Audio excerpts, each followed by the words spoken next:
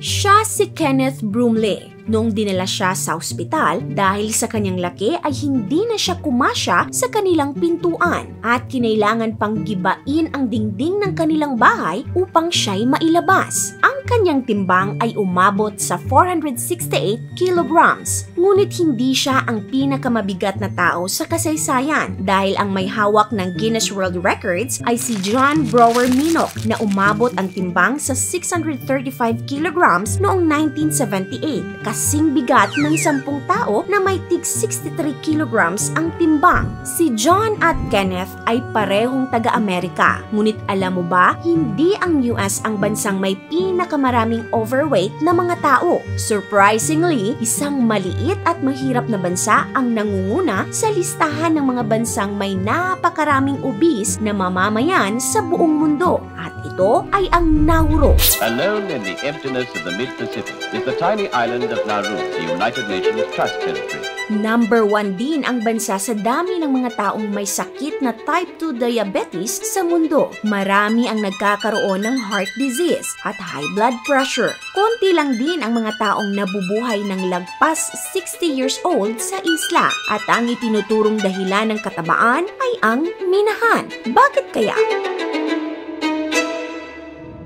Ang Nauru ay isang maliit na island country na matatagpuan sa hilagang silangan ng Australia. Ang isla ay may total land area na 21 square kilometers. Ang buong bansa ay kasing laki lang ng Makati City. Tahanan ito ng nasa 12,511 katao as of 2021. Maliit na bansa pero malaki at mabigat na problema ang kinakaharap nito. Ayon sa datos ng Our World in Data, ang Nauru ang nangunguna sa listahan ng bansang may napakaraming overweight at obese na mamamayan with respect sa populasyon ng bansa noong 2016. 88.5% ng populasyon nito ay overweight o di kaya'y obese. Ang datos ay nakuha base sa BMI o Body Mass Index ng mga tao sa lugar. Ayon sa CDC, natutukoy ang BMI ng isang tao sa pagkalkula ng kanilang weight in kilograms divided by height in meter squared.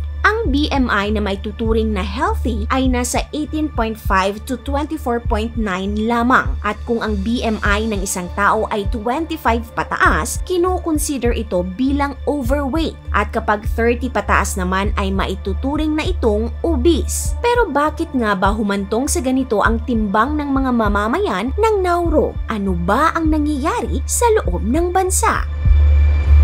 Alam mo ba, ang Nauru ay naging kilala sa storya nitong rags to riches and from riches to rags again. Noong 20th century, ang Nauru ay isang dating mahirap na bansa at naging instant rich dahil lamang sa mineral na phosphate. At alam nyo ba kung saan ito nakuha? Sa ipot o dumi ng ibon. Taong 1906 nang magsimulang magkaroon ng kabi-kabilang minahan ang Nauru na kinabang rin ang mga bansang Australia, New Zealand at United Kingdom sa phosphate ng Nauru. Dahil dito ay naging lubhang marangya ang pamumuhay ng mga Nauruans. May mga tumigil sa kanilang trabaho, namili ng mamahaling sasakyan at magagarang bahay. Sa sobrang yaman nga daw ng mga Ay ginagawang toilet paper ang mga dolyar sa halip na i-invest. Ito ay ayon sa isang residente. Ang malaking kita mula sa mina ng phosphate ang nagluklok sa Nauru bilang pangalawa sa pinakamayamang bansa sa buong mundo. Noong 1975, ang GDP per capita nito na $50,000 ay pumapangalawa sa Saudi Arabia. Pero makalipas ang ilang taon, hindi lubos akalain ng mga Nauruans na mawawala sa kanila ang lahat. May separate video po kami na nagpapaliwanag sa kahalagahan ng phosphate sa mundo na siyang naging dahilan sa pagyaman ng Nauru. At pinaliwanag din namin dito kung bakit bumagsak ang ekonomiya ng bansa. Paanong ang dating isa sa pinakamayamang bansa sa mundo ay isa na sa pinakamahirap ngayon. Kung gusto niyong malaman ang buong kwento, ilalagay po namin ang link sa description at comment section.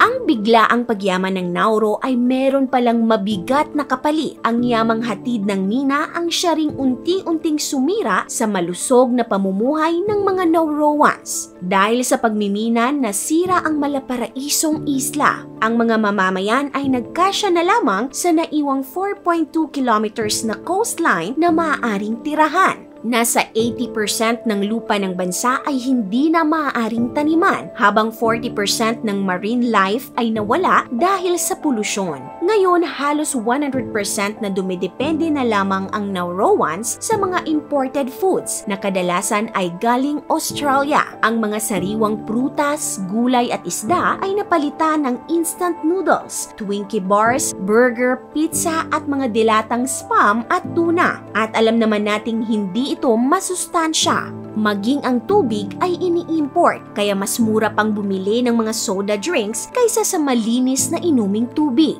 Diyetang nakaasa sa mga processed foods, di aktibong pamumuhay dahil sa tila pagkalulong sa karangyaan at pati na rin ang paniniwalang ang katabaan ay simbolo ng karangyaan. Lahat ng mga ito naging dahilan kung bakit nakamit ng Nauro ang distinksyon bilang may pinakamaraming ubis na mamamayan. At hatid ng distingsyong ito ay ang peligro sa kanilang kalusugan. Ang Nauro ang may pinakamataas na insidente ng type 2 diabetes sa mundo, kung saan 40% ng Nauroans ay diabetic.